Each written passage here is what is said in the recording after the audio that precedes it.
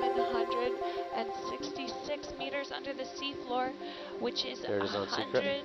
All right, there it is inside. Roger. Lander in sight. Lander sight, and we're closing quickly because the ship is moving Yes. still. We can see that one of the legs is quite buried in the sand, but two seem to be standing off. Bridge this is nav.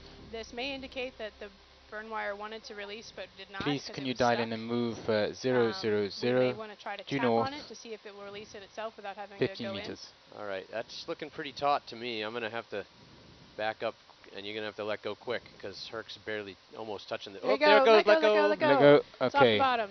Bridge, uh, bridge. This is nav. Bridge. This is nav. Please go ahead. Uh, two ticks. Ahead two ticks. It's away and it's And Mark, clean. We've released the package. It's rising Lots of screen grabs. That's uh, right Yeah. away. Right away. Woo! Good job, team. If you're watching on nautiluslive.org, we currently are retrieving our ROVs, which just released a benthic lander that has experimentation on it that's been down since March. Um, Yeah, looking good.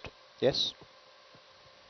We are looking at some of the bacterial mats or the or the microbes that work in the sediments to help break down the oils that are naturally occurring and seeping from the Gulf of Mexico. Another like 22 minutes, maybe.